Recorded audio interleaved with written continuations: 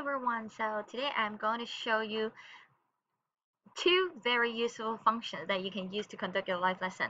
And I'm not going to go through all the basic functions about Zoom because I assume that uh, you have already learned it. Or if you don't, then you can go back to my previous video to when I when I introduce all these basic functions, okay? And right now you can see that there are three camera filming me because uh, I want to show you one function is to how to put your students into different groups for group tasks like group discussion uh, during your live lesson. And the function that we're going to use is called the breakout rooms. So I have to have different people to join in my uh, my meeting, my Zoom meeting, to so that I can assign them to different rooms uh, for group tasks. Okay, uh, breakout rooms in the breakout rooms. So this is the first function that I want to teach you today, the breakout rooms. And the second function that I want to show you is to share your screen. Yes, you may have learned to share your desktop screen, but today I want to show you how to share your iPad screen so that for any app that you uh, use to teach normally with your iPad, then you can also use it uh, during your live lesson with Zoom, okay? And so let's take a look with the breakout, breakout rooms now. Once you click breakout rooms, then um, it will give you some option, okay? Uh, I'll, I'll, I'll click recreate again, sorry, because just now I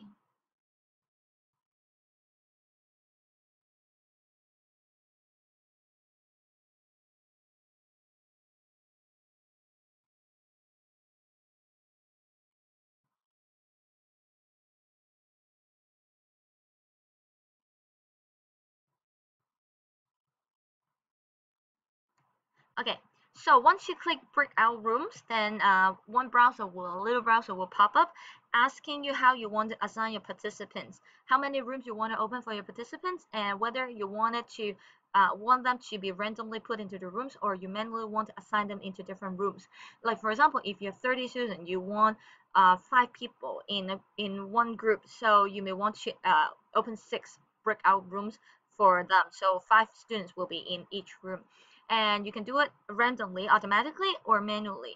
If you do it automatically, then and once you cl click create rooms, then all the students will be automatically assigned to a room like this like this okay? Because now we only have two participants so each room uh, I open two rooms and each of them will be in each room. And if you don't like it after the um, adding into the room uh, automatically then you can actually move them to another room like that so now you can see that uh, one student is moved to another room. Okay. Or if you say, oh, I don't want it to be assigned, uh, I don't want the student to be assigned randomly to the to the group because they, they may originally have their own groups already. And you may do it manually like this. Okay. Then you need to click assign. And then you can choose the student into the room like this. Okay, so this is done manually. And once it's done, you can open all rooms. Okay, you can open all rooms and I can show you. Okay, I can show you. So on my phone, on my phone, um, another account uh, notification will pop up and asking whether the students uh, would like to join the breakout, uh, breakout room. So once you click, once uh, they click join, they will be in the breakout room while you still remain in the main room while you still remain in the main room. Because like all of a sudden all the students are gone. Now it's like just me in the in the big classroom right now because they're all in their own uh, breakout session. So I can show you and there's actually a little button at the corner. You may not be able to see it clearly.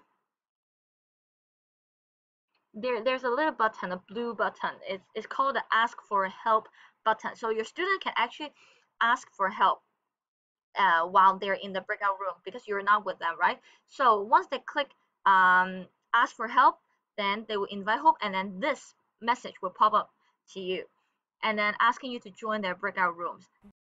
You click um, OK, confirm, then you will join the breakout rooms to answer the question. So now I'm in the breakout room, answer the question. And assume that uh, I need to right right now I'm in room one and then there are some other students in other rooms and you want to give them message. All you need to do is just chat and then you type something here.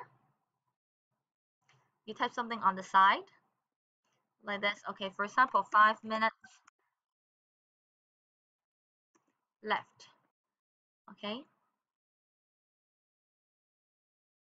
And then the message will be broadcast to everyone in their screen. So um, when they finish their meeting, all they need to do is just click the button leave, leave button, the red button here, leave, and then the student will go back to their main session. Yeah, and then they can return back to the main session. So here, I should have all the people okay I close it first and I need to go back I need to leave my breakout rooms too.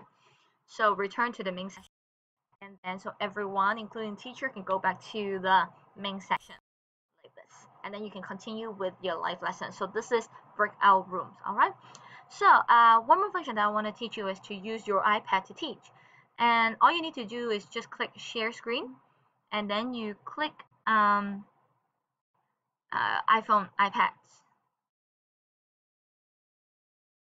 okay? There's a plugin required so you just need to install it for the first time and then afterwards um, you can you you simply need to click that uh, iPad then you can share screens. And it will teach you how to connect your iPad with your um, desktop.